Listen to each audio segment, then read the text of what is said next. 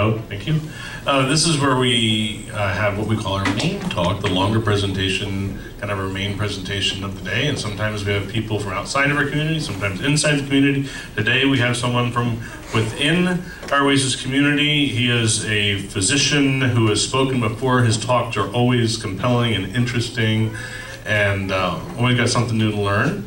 And Dr. Richard Andrews. Thank you. Everybody. So, um, yeah, the answer to this is probably no, but I figured it was uh, it would get your attention anyway. Um, unless you consider love to be an addiction, which we're going to talk about actually. It is. So, full disclosure here, uh, I do have a mild drug history myself. Um, uh, you're probably not interested in the details of why I was arrested for suspected drug trafficking. Um, well, okay. Um, when I was in college, I was walking back from uh, uh, I was walking back from the laundromat to the dorm, and a police car rolled up alongside. I was on a military base, so this was the military police. Um, and they said, uh, "Hold on a minute, sir. Uh, the detective wants to talk to you." Uh, so I waited. What else was I going to do? Uh, and then within a few minutes, uh, the detective uh, careens around the corner nearly on two wheels, because this was a hot bust, obviously. Uh, you know, pulls up, uh, they get me out of the car, I'm spread-eagled, they're examining me, the whole business. Uh, didn't find anything. Actually, they found something, but they didn't realize it. and then they said, we're taking you to the station. Uh, at this time, I was considered just about the cleanest student on the campus, like never did anything. Uh, and um, they took me into uh, HQ and uh, did a strip search. Uh, and the only thing they could find, which again, they didn't realize that they had the contraband, was two little packets of jelly from the cafeteria. Uh, and it turns out, as I thought back on it, it turns out that a friend of mine, another student, as I was walking uh, to the laundromat, she was walking back, she uh, made a big show, very surreptitiously, of handing me two jelly packets that she picked up from the cafeteria and didn't want to have in her pocket anymore. So she did it like this, you know. Uh, and, and that's what they saw, because they had the dorm under surveillance at all times.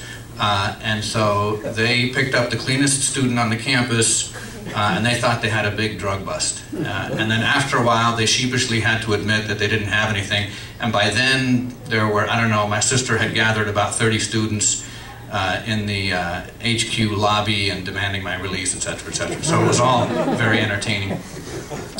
And uh, I tried hashish once under the influence, I must confess, of a slightly older, uh, a pretty woman. And um, hashish is uh, similar to marijuana. Um, used to be considered a little bit stronger. Uh, it's, it's a processed form of the marijuana plant. and, um, but these days, marijuana concentrations have risen such that it's probably no longer stronger than marijuana.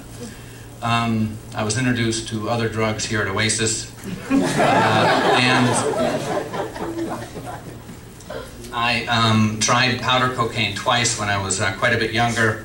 Uh, I didn't feel anything. I don't know if it was actual cocaine or not, to be honest. Uh, and I tried uh, psilocybin mushrooms, hallucinogenic mushrooms, twice, again when I was quite a bit younger.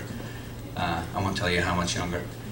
And um, the first time I didn't feel anything whatsoever. The second time, I the only thing I really saw was uh, accentuated colors every color was, was highly accentuated, that's about the only thing I ever experienced. And I experienced a stomach ache, which, uh, which is uh, hallucinogenic stomach ache, which is actually rather common with hallucinogenic drugs of nearly any class, is that they often cause uh, abdominal pain.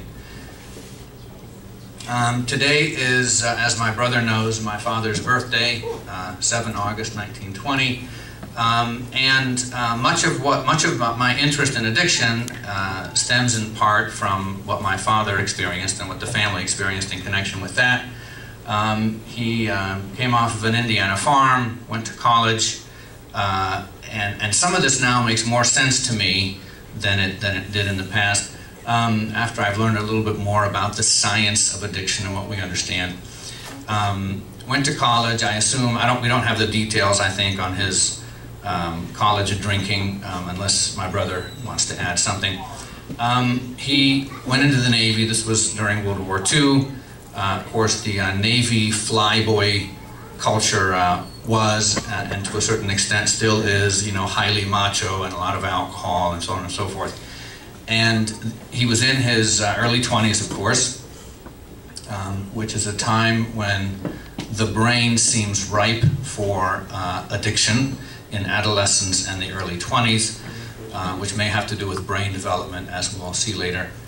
Um, and um, he uh, suffered a permanent injury in the war. Um, he then got married to the nurse that took care of him in the hospital, had a couple of children, and in three days she died of polio.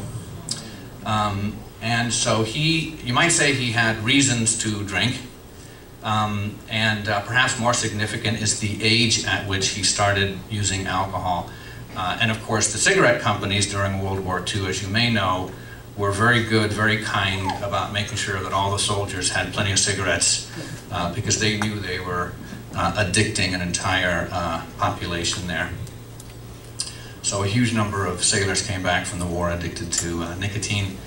Um, and, um, you know, he never drank alone. I'm not going to say he was, quote, a social drinker, unquote, because that kind of implies that you have an occasional drink or something like that.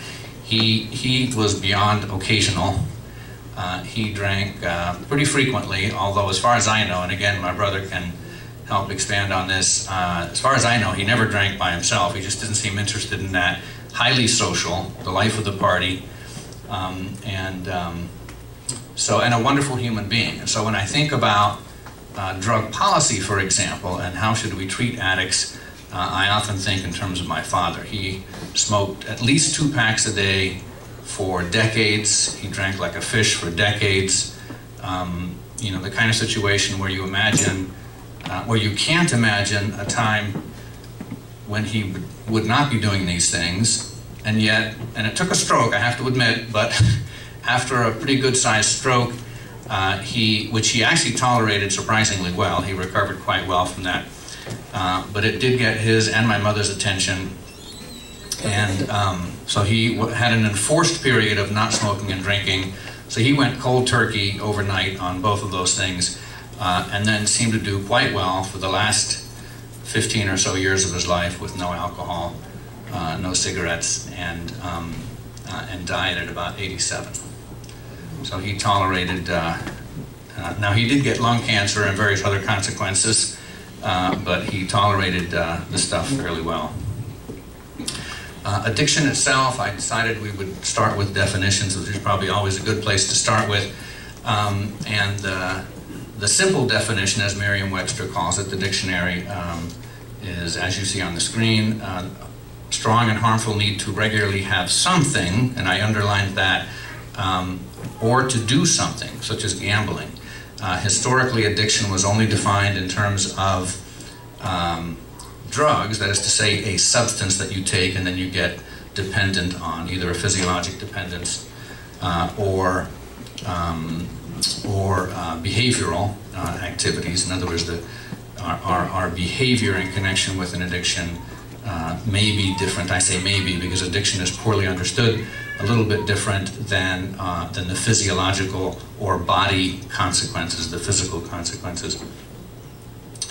Um, but it's actually kind of tricky, as with so many other things, kind of like with love and God and various other things. It's actually pretty hard to come up with a definition. Um, I remember uh, in the 60s uh, a famous uh, Supreme Court decision regarding pornography, uh, and they went around and around and around with the lawyers, of course, uh, went around and around and around with the lawyers on how do you define pornography. Uh, and eventually, I think this was in the final decision actually, the final decision said um, something along the lines of, well, we can't really define it, but you know what it is when you see it, you know, which is probably not a very satisfactory definition after all. And uh, what I'm curious about with their so-called full definition, I actually prefer the simple definition, is here they talk about um, strictly about substances, and I think it's important to, to incorporate uh, so-called behavioral addictions into the definition for reasons we'll talk about. Um, and, uh, and then the more broad definition down below, uh, persistent compulsive use of a substance known to be harmful. Um, now, of course, that, that suggests that if somebody were using a substance and got addicted, uh, if they didn't know it was harmful, then they wouldn't really be addicted, uh, which is probably a problematic definition as well. Um, you've heard me, uh, if, if you heard my other talk, you've heard me talk about Johann Hari, H-A-R-I. I guess I don't need to spell it since it's on the screen, but um, uh, fascinating speaker and fascinating uh, author, uh, journalist. Uh, I highly recommend his TED Talk, uh, which is entitled, uh, most fascinating TED Talk I've ever heard, entitled Everything You Think You Know About Addiction is Wrong. a little bit provocative, but I highly recommend that. And I highly recommend the book um, and I found a quote early in the book interesting in which he talks about, because he himself was addicted, um, he's a journalist and he wanted to be able to stay up long periods and be very productive. And so he was taking uh, anti-narcolepsy drugs, which is to say stimulants basically, similar to amphetamines. Uh, and they did work for him and they found he was able to stay up for long periods and be very productive. And um, and then he had family members. He says one of his earliest memories in life is trying to wake up a family member uh, from, a, from a stupor, basically, a, a drug-induced stupor. Uh, and so his whole life, uh, he's been curious about addiction. Um, and he uh, decided to take some time out, about three years as it turns out, which was longer, I think, than he expected, to study uh, the nature of addiction uh, and also look at drug policy. Uh, and he decided to start in the U.S. because he had the impression, um, from what he'd already read, that drug prohibition policies basically started in the U.S. and then spread from there to the whole world. Um, but I liked his quote here where he talks about, because he was so focused on his own addiction, he would frequently write about drug policy, but he wasn't open about his own addiction. Um, uh, he does not have narcolepsy, like I said, but he was using these drugs and he um, he realized that, or he felt that there was an element of hypocrisy in him talking about addiction and that kind of stuff, and yet here he was addicted himself, um, and so he he realized that he needed to take a step back. Uh, because as he suggests here, if you're so focused on that, on that little paint smudge that's you and the people around you, then you're not going to get the big picture. Um, and I, have been curious myself for a long time as a physician um, about, um, I mean, of course, I have a number of patients that have addiction issues or who are at risk for addiction issues. Um, I have uh, treated patients with addiction and continue to do so at times. Um, but of course, you know, the average adult in the world, I would say, is addicted to caffeine, for example. Uh, and yet caffeine, uh, and the evidence is quite clear on this in the medical literature, caffeine in moderate quantities for most people is simply not harmful. It simply isn't, you know. Um, you can talk about whether people should drink it or not, that's sort of a separate issue. Uh, and so that struck me as curious because so often the word addiction is thrown around as if addiction per se were inherently harmful, and it didn't really matter what the consequences were, just attaching the word addiction to somebody's behavior was, was per se harmful. Uh, and it didn't make sense because the average person is addicted to coffee, and yet the evidence is quite clear that coffee is not harmful. So it doesn't make sense that addiction per se is harmful. What I often tell my patients, for example, addicted to nicotine, because smoking is obviously harmful, the evidence is quite clear on that. Uh, but nicotine by itself uh, is generally not harmful. If you have a heart rhythm problem, you probably shouldn't be doing large amounts of nicotine.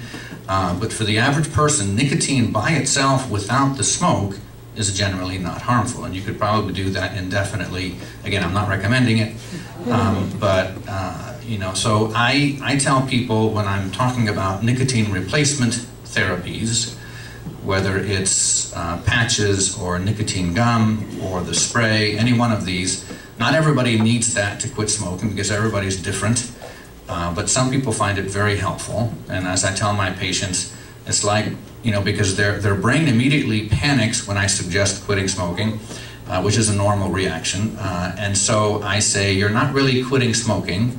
Don't tell your brain you're going to quit smoking. Tell, tell your brain that you're going to switch from method A of smoking to method B of smoking because you're still going to get the nicotine because the smoke is what's hurting you. It isn't the nicotine. So relax about the nicotine. Let's, if that's going to help you quit smoking, then I'm all in favor of it. Um, the writings of Helen Fisher are quite fascinating. She's a biological anthropologist who specializes in uh, evolution of various things, including uh, human relationships, love, sex, drugs. Uh, sounds like a good job. And um, so she has written some fascinating stuff. I have uh, sources for all this stuff, by the way, which uh, if you want to get a copy of the talk, you're certainly welcome to. Um, and she and others have pointed out how love itself, uh, because again, it, it, ties into certain circuits in the brain relating to reward and re re relating to our own, what are called our own endogenous opiates, the opioid-like molecules that our own brain makes. And obviously it makes sense in evolution for certain behaviors to be rewarded. Um, including in the case of the human infant, you know, human brains, as you know, grow quite slowly compared to virtually all other uh, animals. And the human infant is uh, uh, helpless for a lot longer than virtually any other animal uh, and requires uh, ideally a pair bond in order to uh, raise the child to the point where it's not quite helpless anymore. Uh, and so if you could have a mechanism, this is what she thinks, and there's some evidence for this, if you can have a mechanism that keeps the pair linked, in effect an addiction to the other person, then that may, be, uh, may make sense from the point of view of evolution. And, and that's an example of the taking the absolute longest view. Remember we talked about taking a step back from the smudges uh, to take a look at the big picture. There is no bigger picture than that. Um, uh, and it's not just a theory. Um, I found a new word, by the way, that I thought my brother would like, uh, limerence. Uh, I say my brother because he's, he and I like to go back and forth on, uh, do you know this word, do you know that word, that kind of thing. So here's a word, limerence, I'd never heard before, uh, the state of being love-stricken or infatuated. Um, and uh, functional MRI, most of you, or virtually all of you, have heard of MRIs, you know, a, a, a, technology for getting, without radiation, getting extremely detailed pictures of the body or the brain. Uh, and functional MRI is just another version of that, where they can look at, for example, uh, the oxygen state of blood in different parts of the body. Um, if you have um, blood that is still oxygen rich, that suggests that it hasn't yet made it to the target organ, in this case the brain, where it's going to be used on something, and they can map it fairly well through the brain, different parts of the brain, to see which parts of the brain are active under certain circumstances. And so uh, the picture of the functional MRI scan uh, is similar, as you can see, for people uh, in love and for people under the influence of certain drugs and similarly for people who have been jilted, who have lost a lover, and people in drug withdrawal. So again, it's not uh, the nail in the coffin, but it's at least suggestive. and drug use isn't just for us. Uh, you know, I, one of the most fascinating experiments I ever read about was a so-called accidental uh, experiment in which some um, primate researchers, I forget where in the world they were, but they had uh, an island that they lived on with a bunch of uh, uh, naturally occurring uh, uh, chimps. And they chose the island because this was a population where you did not have in and out migration of primates. They had a population they could study over the long haul. And every chimp had a name, every chimp had a number. it was obviously perfect for for scientific study. Uh, and the humans on the island had their own alcohol stash. and they, uh, for reasons that aren't entirely clear to me, maybe the chimps are smarter than the researchers, uh, the chimps kept breaking into their alcohol stash. And no matter what they did, the chimps would get in there. And finally they realized that rather than fight it, they had a perfect natural experiment on their hands. Uh, so they studied the behavior of the chimps exposed to alcohol. and what they found was startling because just as with humans, uh, you know, a certain percentage of the chimps would virtually never try this stuff, or maybe they would try it once and then never try it again.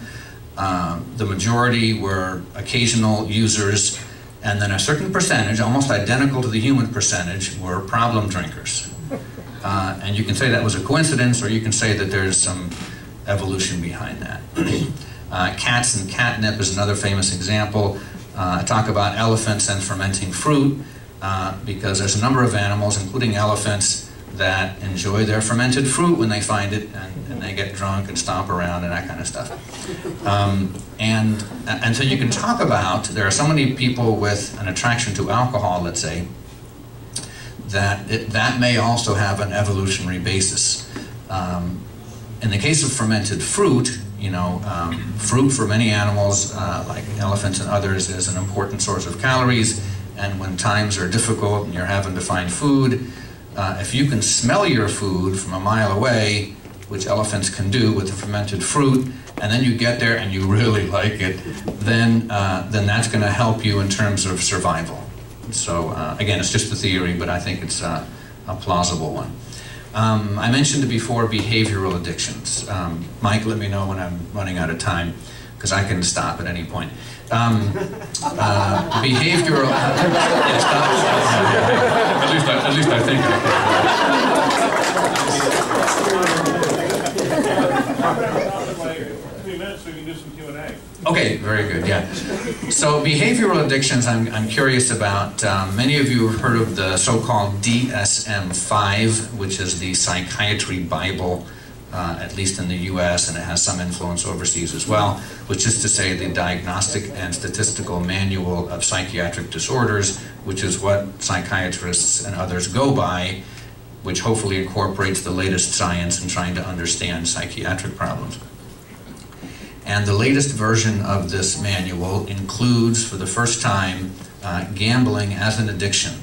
That is to say, a non substance, it considers it an addiction, a non substance disorder uh, characterized by the same stuff that characterizes using a substance. So the notion that all aspects of addiction are down to the peculiar aspects of the substance is simply not the case. Uh, certainly that's true on some level. Uh, each drug has unique qualities in the body, um, but then each of these drugs gets into and taps into and then activates circuitry in the brain, which we need to understand in order to see what's going on. Um, here's a few other examples of uh, behavioral addictions. Uh, and, um, and, and, again, this stuff is poorly understood. Uh, I thought I would throw in a little Billie Holiday thing because you, uh, if you heard my first talk, you may remember me talking about Billie Holiday, a great jazz singer from a number of years ago who was effectively murdered by the narcotics police. Uh, she was in the hospital with a number of illnesses, uh, and they chained her to the bed. Uh, and um, while she was in there, her I think it was her ex-husband, her pimp and ex-husband who had abused her any number of times, uh, wanted rights to her autobiography, so he came in and read the 23rd Psalm over her bed, and she pretended to be un unconscious or asleep. And when he was gone, she had this quote, uh, I've always been a religious bitch, but if that dirty motherfucker believes in God, I'm thinking it over. so forgive my uh, French there. I can stop. I can stop. Uh, and here's the second most surprising factoid. I'll finish after the next slide. The second most surprising factoid of this talk, it seems to me, is that, and the evidence again is very clear on this, um, of all the so-called psychiatric disorders, addiction has the highest odds of recovery. Um, it's so often it's so often said that you know, once you're addicted to drugs, that's it. It's a, it's a downhill slope. It's going to get worse and worse. Turns out the evidence suggests that that simply isn't the case. Yes, it's true for some people. Uh, emergency room doctors often have a skewed view of things, for example, because that's all they see. They see a skewed population. That's not the same as, you know, a that looks at 40,000 people uh, chosen to be representative of the U.S. adult population and looking at what the numbers are there. Um, and then here at the bottom of the slide, uh, is the one that I think is the most surprising factoid for me, at least, in studying uh, and preparing for this talk. Uh, can anybody figure out what those numbers are next to the different drugs? Any thoughts? How addictive they are. Uh, yeah, you could say how addictive they are. It correlates with that anyway. Uh, that's the number of years that a typical cocaine addiction lasts, the number of years that a typical marijuana addiction lasts, some of you may be surprised to hear the word marijuana addiction, but that's a real phenomenon. Uh, typical number of years that an alcohol or heroin addiction lasts, uh, and then prescription pain medicines. Um, again, it all, a lot of it has to do, you know, your risk of addiction is a function largely of the age at which you were exposed, uh, largely because the brain, you remember the brain continues to form until about the mid-20s, and the portion of the brain that develops last is the portion of the brain uh, of the gray matter that helps us assess risk uh, and avoid risk, essentially. Uh, I think this is why old men send young men to war. Uh, seriously, I think that is, you know, because cuz older people aren't going to put up with that, you know, and young people shouldn't either. Um, so I, I better stop there because I've got uh, any number of.